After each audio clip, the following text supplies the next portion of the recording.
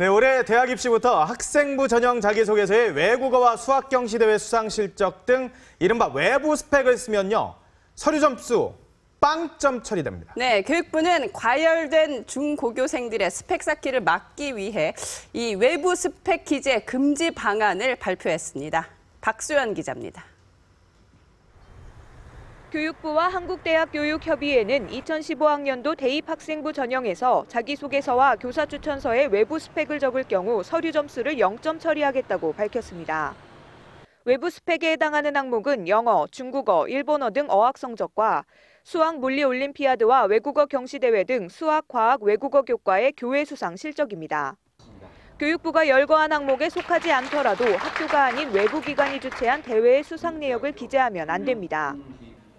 어학연 수와 같이 사교육 유발 가능성이 높은 사항은 자기소개서에 쓰더라도 평가에 반영되지 않습니다.